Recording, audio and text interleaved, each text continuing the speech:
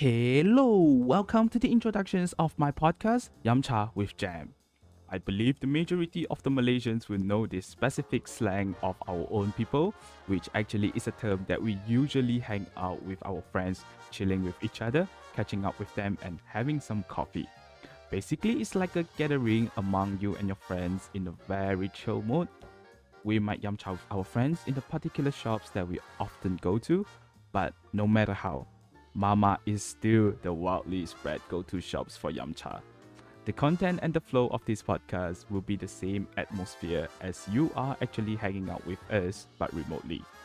We will be inviting amazing people as our guests to the show, and we will talk and discuss everything by sharing our both individual perspective and ideas towards certain and particular topics.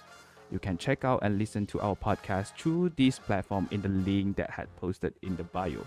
I do really look out for your support and I hope the podcast might benefit you too.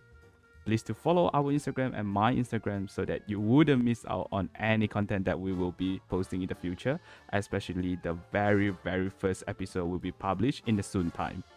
I would like to see you there. Thank you and stay tuned.